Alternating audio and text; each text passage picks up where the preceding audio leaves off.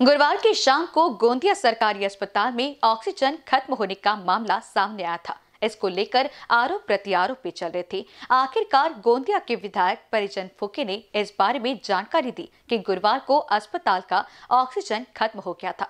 बाकी राज्यों के मुख्यमंत्री से बात कर ऑक्सीजन की व्यवस्था की गई है। उन्होंने सरकार पर आरोप लगाया है कि सरकार का ग्रामीण क्षेत्र पर ध्यान दी है। परवा रात्री मला अकरा साडे अकराच्या दरम्यान काही डॉक्टर्सचा फ़ोन आला.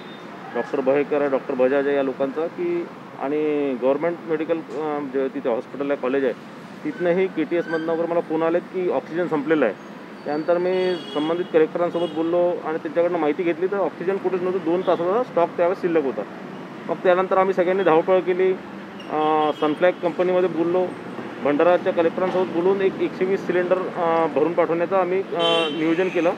त्यानंतर बाजूच्या राज्यातनं मध्य प्रदेशमधनं गौरीशंकर बिसेन तिथचे आमदार आहेत. त्यांच्याकडनं आम्ही एक चाळीस सिलेंडर बोलवले. त्यानंतर छत्तीसगडमध्ये ब्रिजमोहन अग्रवाल आहेत. तिथचे माजी मंत्री होते. त्यांच्यासोबत बोलून तिथे रात्री एक दीड वाजता फॅक्टरी उघडून जवळपास तिथनं एक सत्तर ऐंशी सिलेंडरची व्यवस्था केली. नागपूरवरनं बुटीबोरीवरनं चाळीस सिलेंडर पो पोचवले जर त्या दिवशी जर सिलेंडर पोचले नसते जवळपास तीनशे चारशे लोक म्हणजे तीनशे चारशे पेशंट दगावले असते. आणि अशी स्थिती भीष्म स्थिती परिस्थिती गोंदियामध्ये विशेषतः गोंदियामध्ये आणि भंडारामध्ये आहे.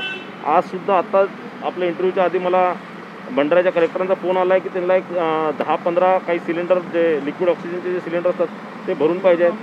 आणि सातत्याने एफ डी एचे कमिशनर काळे असतील किंवा सातत्याने सरकारच्या प्रतिनिधित्व ॲडमिनिस्ट्रेशनसोबत कॉर्डिनेशन करून आपण हे सगळं ऑक्सिजन पुरवण्याचा प्रयत्न करतो आहे आजच्या स्थितीला भंडारा असो गोंदिया असो आणि नागपूर असो कुठेही ऑक्सिजनची पूर्तता नसल्यामुळे मोठ्या प्रमाणात धोका धोका निर्माण झालेला आहे की जे आज ऑक्सिजनवरती पेशंट आहे जे व्हेंटिलेटरवर पेशंट आहे मोठ्या प्रमाणात एक मोठी दुर्घटना होण्याच्या शक्यता आहे.